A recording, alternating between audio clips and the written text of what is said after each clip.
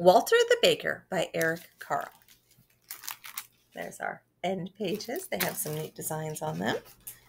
And there's a picture at the beginning.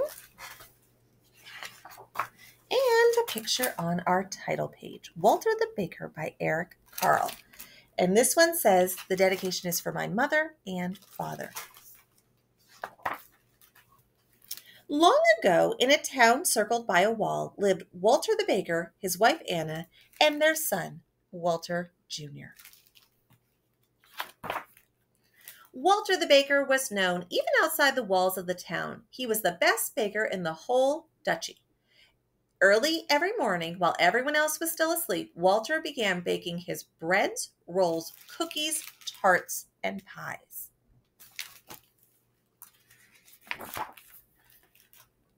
Anna sold the baked goods in the store. No one could resist the warm, sweet smells drifting from Walter's bakery. People came from near and far. The Duke and Duchess, who ruled over the duchy, loved Walter's sweet rolls.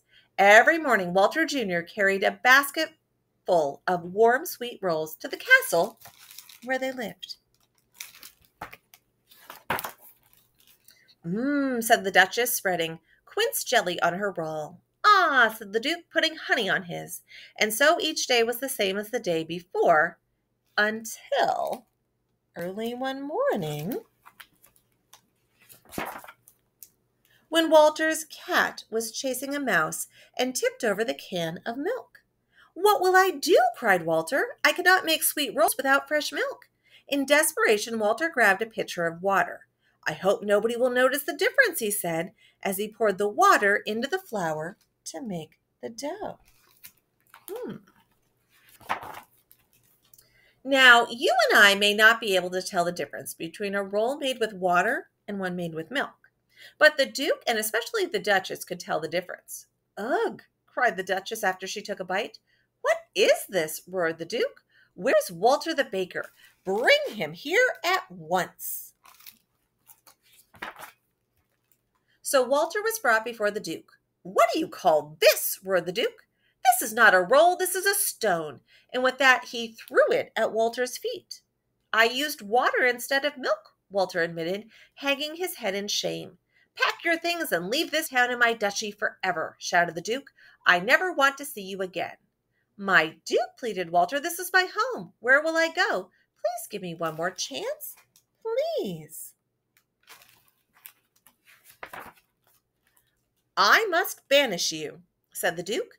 But then he remembered Walter's good rolls and how much he and the Duchess would miss them. Well, Walter, the Duke started to say. Then he thought and thought some more.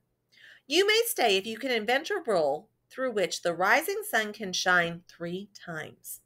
And to make it more difficult, he added, it must be made from one piece of dough, and most of all, it must taste good.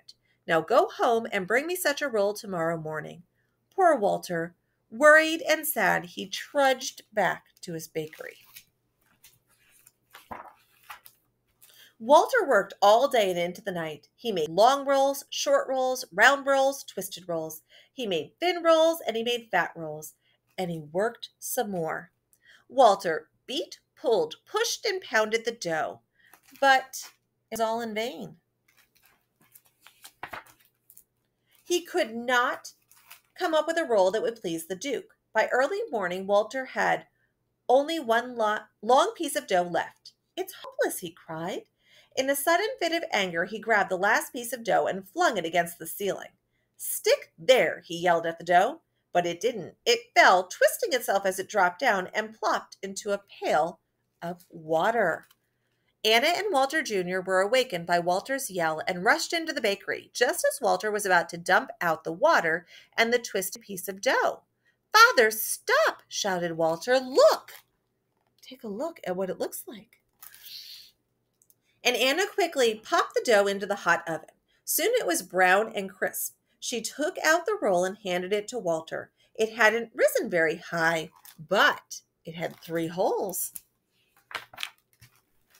Walter held up the twisted roll and smiled. He saw the morning sun was shining through it three times. Walter put the roll in a basket and rushed to the castle to deliver his invention to the Duke and Duchess. And they too saw the morning sun shine through it three times. Then the Duke and Duchess each took a small bite. Walter was afraid to look because he had no idea how it would taste. Well done, said the Duke. Perfect, exclaimed the Duchess. Both were glad that Walter would not have to be sent away. And Walter, too, was happy that he could stay. Now, pray tell us, Walter, what do you call this? asked the Duke. Ah, yes, pray us tell. Walter stammered as he tried to come up with a name. What was that? Pra, pra, pre, pretzel, said the Duke. Pretzel it shall be. From now on, he declared, it shall be sweet rolls in the morning and pretzels in the afternoon, said the Duchess. Walter returned to the bakery and spent all day and night making pretzels. The next morning, there were baskets of pretzels outside the store for the whole town to taste, and a special basket of pretzels for the Duke and Duchess. And a cheer went up for Walter, the pretzel maker. The word pretzel comes from the Latin word brachium, meaning arm. The pretzel was originally a simple bread eaten during Lent. Its shape is based on an ancient position for prayer in which the arms were folded across the chest and the hands were placed on opposite shoulders. Walter the Baker by Eric